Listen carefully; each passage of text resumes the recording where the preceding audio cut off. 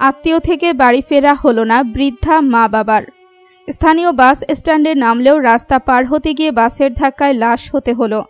ঘাতক বাসের ধাক্কায় সড়কে ছিটকে পড়ে দুজনে, তবে স্ত্রী বাঁচলেও তার চোখের সামনে স্বামীটা লাশ হয়ে যায়। বিধবার শোক সামাল দিতে হাসপাতালের বিছানায় ছটফট করছে। বাসের ধাক্কা খেয়ে আহত বউয়ের চোখের সামনে স্বামীর লাশ হওয়ার এই মর্মান্তিক ও হৃদয় বিদারক ঘটনা ঘটে গতকাল সন্ধ্যা সাড়ে সাতটার দিকে। ঢাকা বঙ্গবন্ধু সেতু মহাসড়কের কালীহাতিতে সল্লা বাস স্ট্যান্ড এলাকায়। তাদের বাড়ি উপজেলার মিরহামজানি গ্রামে। পুলিশ ও নিহতের পরিবার সূত্রে জানা যায়, টাঙ্গাইল থেকে ছেড়ে আসা বঙ্গবন্ধু সেতুগামী লোকাল বাস থেকে সল্লা বাস স্ট্যান্ডে নামেন ময়সের ও তার স্ত্রী লিপি বেগম। পরে রাস্তা পার হওয়ার সময় উত্তরবঙ্গ থেকে ছেড়ে আসা ঢাকাগামী একটি বাস তাদের চাপা দিলে ঘটনাস্থলেই স্বামী ময়সের আকন্দ নিহত হন। শত শত লোক রাস্তার পাড়ে দাঁড়িয়ে মানুষটাকে মরতে দেখল, অবাক হয়ে।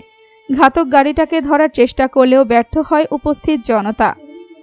দর্শক, এই মর্মান্তিক ও করুণ মৃত্যু নিয়ে আপনার কি বলার আছে তা কমেন্ট করে জানান। আল্লাহ হাফেজ।